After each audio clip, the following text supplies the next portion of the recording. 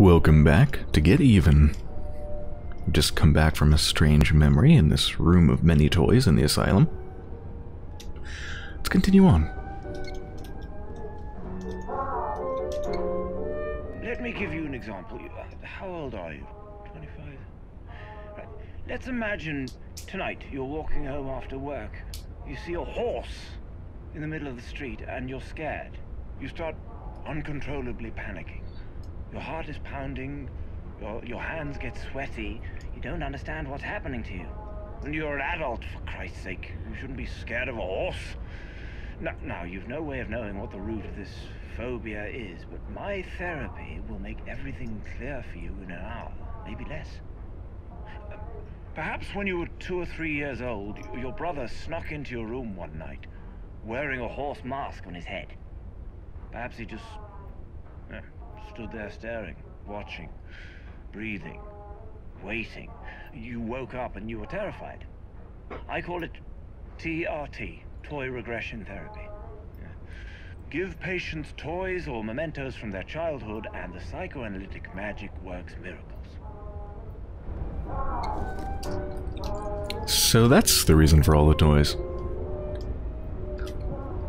TRT toy regression therapy? Uh, yeah, I'm like 99% certain that doesn't work. Ah, toy therapy patient list, so each toy is associated with a different patient. Hmm. What a strange bear. Its chest is a donut. I don't know if you're supposed to play with it, sit on it, or eat it.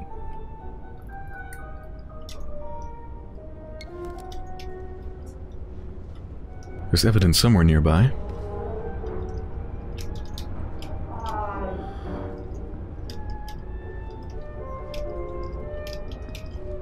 Ah, DNA found. Female, 18 to 22 years of age. okay, and that toy is associated with... Patient 617? John?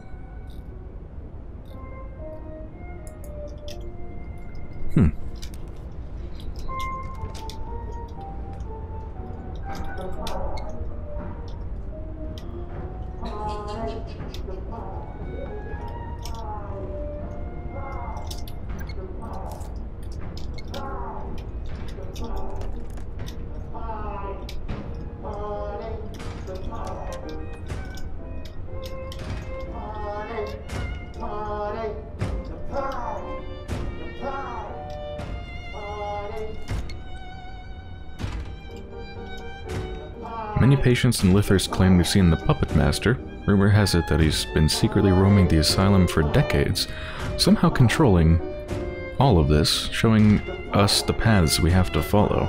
I myself have never seen him, but I dread the day I finally will.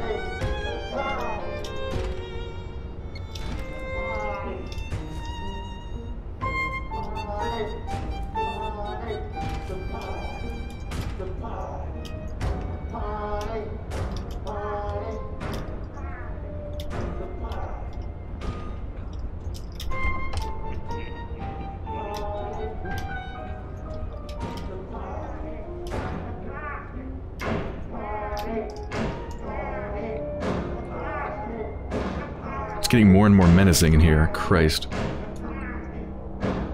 Tom Elliott. Patient 912. Anxiety.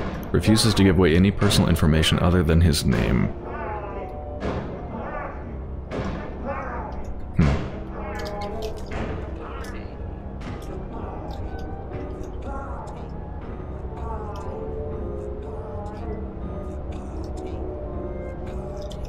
He's here!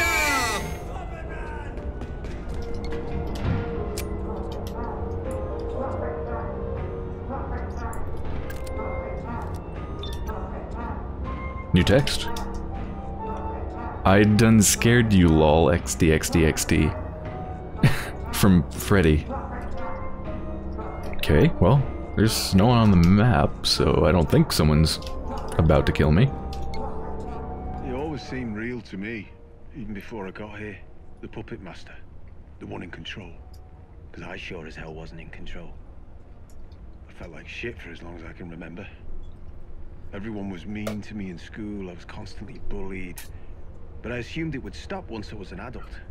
Because I believed adults would be too busy to waste time on hurting the people around them. Well, I was wrong. So I found comfort in pills and drinking.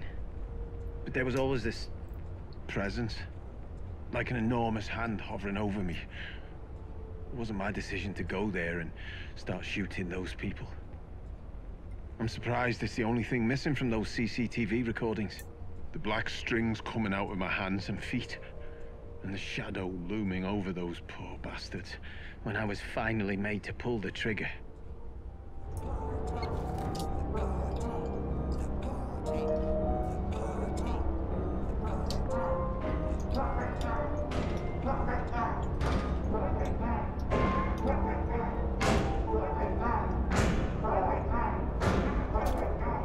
Oh, thanks. Convenient service. 1 to 10. How much did this new treatment help you to discover your inner self? Inner self. I'm no such thing. Please. I just wanted to serve my country. Ah, don't change the subject. I I'll ask again. On a scale of 1 to 10, You made them cut my fucking arms off. My fucking... we did it to save your life. That landmine... I will end you, motherfucker. I will crush your fucking throat. How? You have no arms. But you seem to be much less concerned about your past mistakes now, so let's call that a nine, shall we?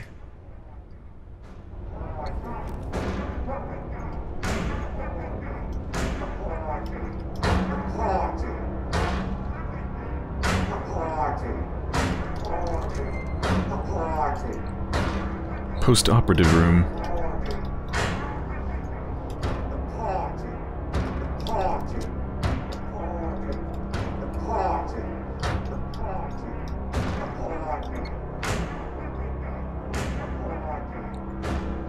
Oh, uh, looks like it's for the amputation. Physician in charge, Dr. William Benway.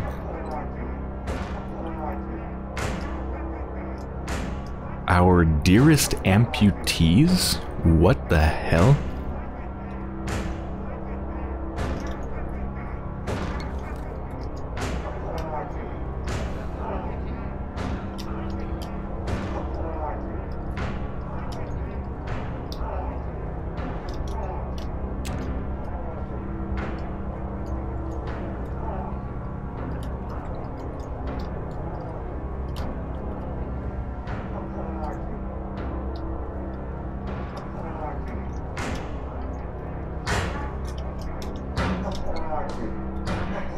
Closing Lithurst.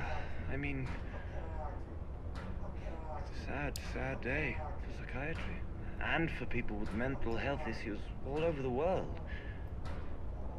I only helped my patients get better. Nothing more. And, and there's one thing I just don't understand. Why do the media still criticize my methods? How dare they? What about my results? Hmm? Not, not one idiot journalist ever asked how many of my patients were cured. Not one. I know why. It's because my patients got better. All of them. Even those who died. Especially those who died. What? What's your definition of better, Doctor?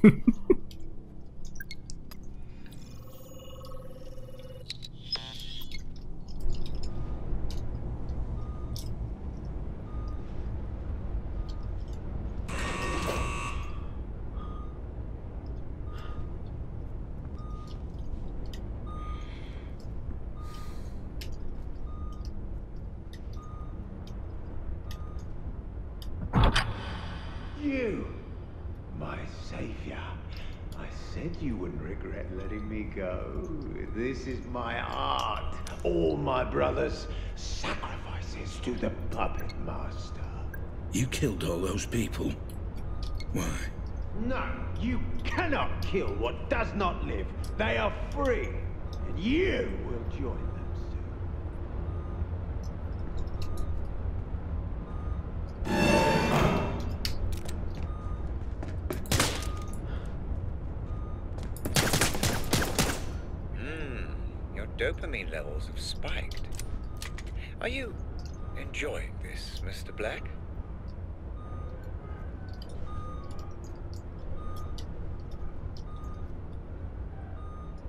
Wasn't expecting them to just come at me and then get shot. I mean, did they really think they would win against a gun?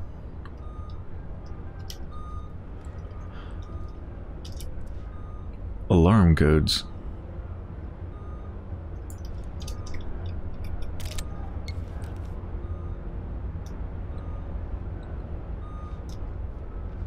This one's got blood on it. Uh, well that's probably gonna... What, probably gonna open the door or something?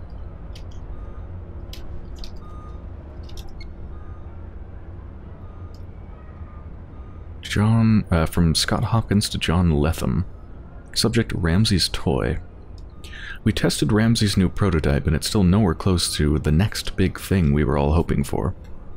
Five out of six testers reported symptoms of severe VR sickness, mostly headaches and or nausea. Also, the so-called memory visualizing has some pretty major glitches. Testers reported that their memory worlds were fractured at best, and the whole experience was often described as confusing. I think someone needs to address this with Ramsey directly. We wanted to start selling this thing next year, not in the next fucking decade.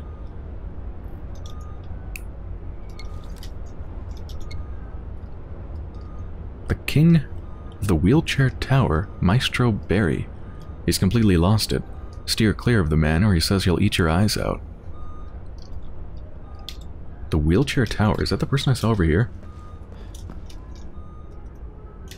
Yep, looks like a wheelchair tower.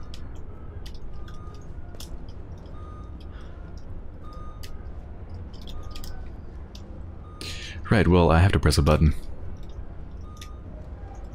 Hmm. Should I press the one covered in blood? I don't know. Sure.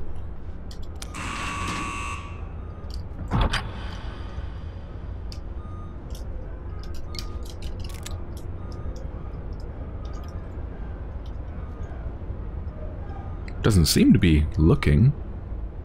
Looks like they're just sleeping. This is Redmond's land. Wonder if there's life after death? Just trespass here and find out yourself.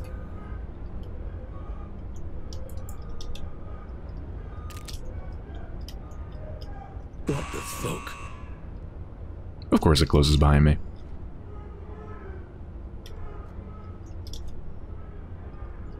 Robert Ramsey, genius or charlatan? Roger Howard knows the answer. Head of Future Defense Group's Science and Tech Department, Robert Ramsey, is widely recognized as one of the most important innovators in tech in the tech world. However, to his detractors, Ramsey is a charlatan frequently accused of stealing concepts from his lesser-known peers. We talked to former ADS CEO who claims that one of Ramsey's most successful projects was based on a theft.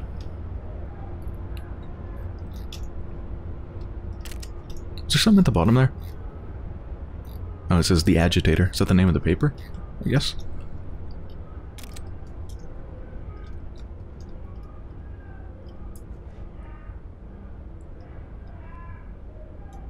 They might just outright be dead. I don't even see them breathing.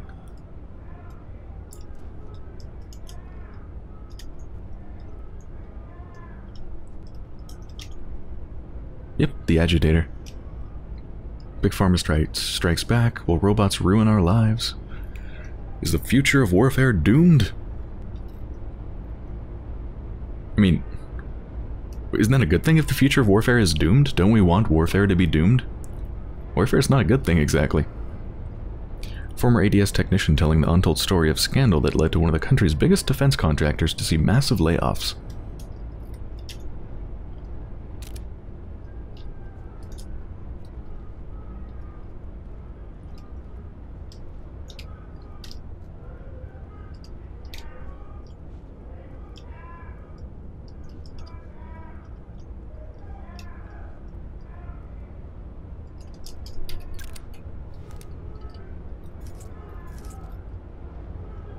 Yeah, I don't even see them on the map. I think they're just dead.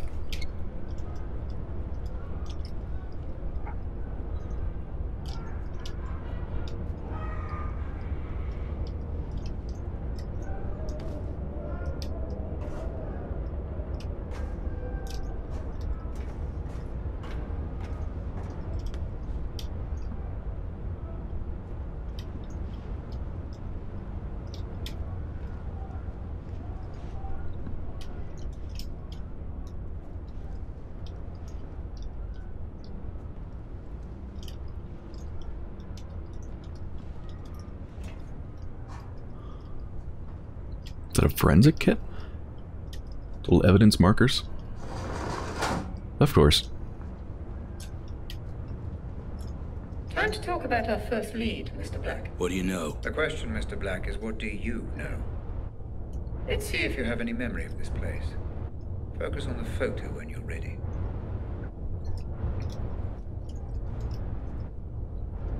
Okay, got a lot of things here. Let's take a look. Severn Police. Detective Hector Chadwick. 1996 criminology graduate. Began working for the East Barburn Police in 1997. Joined Severn Police Department in 1999. In 2002, promoted to his current position of detective.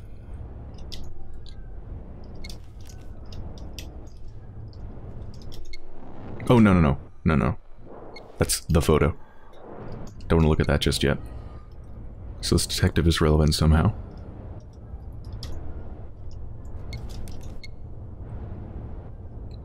Severn Police, Spittle Police Station Database.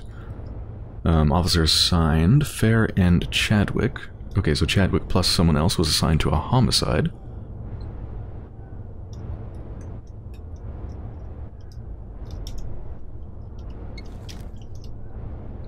Is this the other person?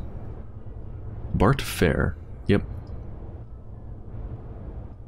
So Chadwick and Fair both assigned to a homicide case. 1994 criminology graduate. Okay. Ooh, it says got a bravery award in 2009. Wonder if that's related to the case.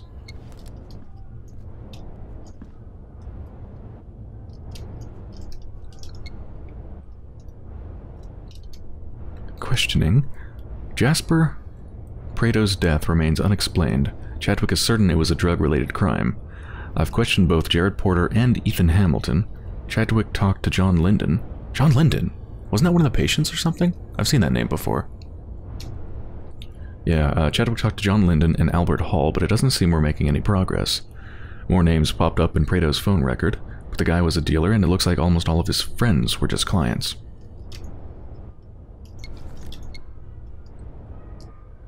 Incident report. 20th 20th of June 2015. That's the explosion. The hostage situation. Road traffic collision. On Monday the 20th of June at 4.26 a.m., the Biddle police received a call reporting a car accident in the area near the Pike Hill turning on Route 10. Upon arrival, we located one vehicle in the nearby woods. Actions taken. The car hit the tree and was burning when we arrived at the scene, so we used an extinguisher and quickly managed to put the fire out. Preliminary investigation revealed that the accident was most likely caused by excessive speeding. There were no passengers inside. Further investigation revealed a bloody trace in the woods, but no body was found in the area nearby. The driver may still be alive. His current status remains unknown. Hmm. What if that was me, like, rushing to the hostage situation or something?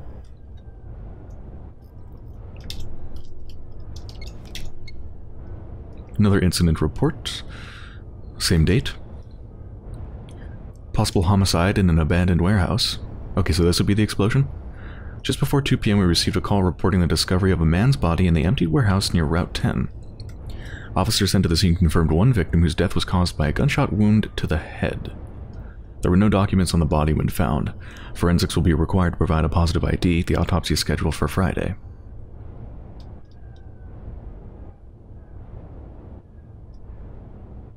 One victim whose death was caused by a, a gunshot wound to the head.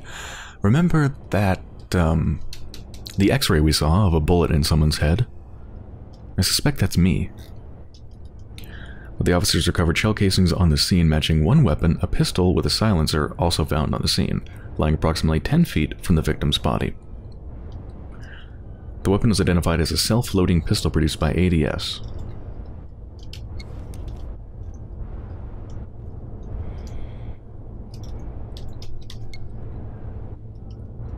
Body found in warehouse. The body of a 40-year-old man, yeah, that sounds like me, was found in an abandoned warehouse near Route 10 on Monday. Edwin Hughes said it appears that the victim was shot from close range, but we don't yet know how long the body was there before we found it. Autopsy scheduled on Friday, but it's quite possible that we may have a murder case on our hands.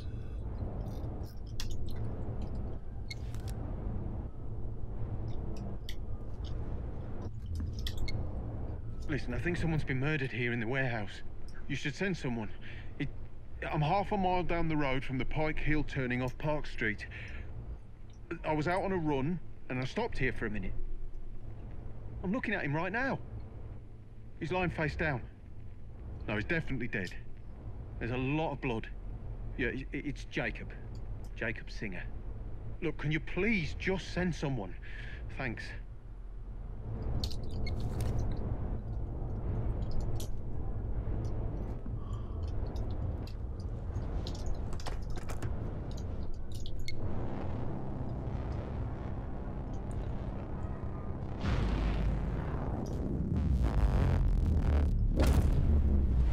So you do remember this place. Interesting. Please, just tell me why this is important. An unidentified man died at a nearby abandoned warehouse. warehouse not long before you tried to save the girl. He was shot at point Blank range. And we're going back to that warehouse. That's correct, yes. The police wrote the whole thing off as a drug deal gone wrong. But that's not what you believe. I believe everything in life is connected, Mr. Black. The only question is how. Let's find, Find out, shall we?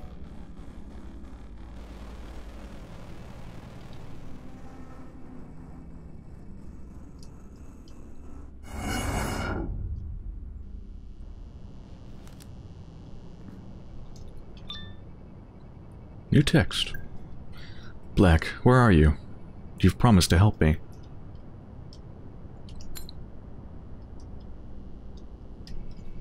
Yep, 20th of June. At, uh, 3 p.m.